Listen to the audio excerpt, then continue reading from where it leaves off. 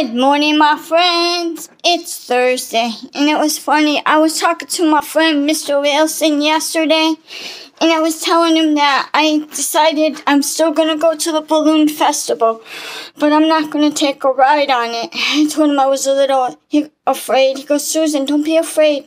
Take chances. I go, well, Mr. Wilson, truthfully, I don't think I'm gonna have enough money for the balloon. True. But I think if I just go there, I'll have the excitement and I'll get rid of one of my things on my bucket list.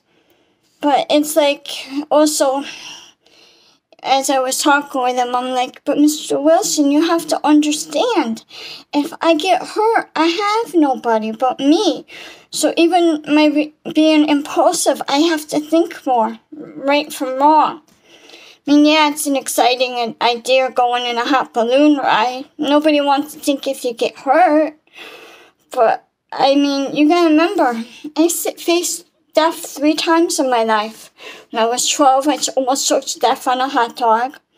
Then I had the angel bus accident well, basically, I met my guardian angel. I should have fell under three different buses at, in one day.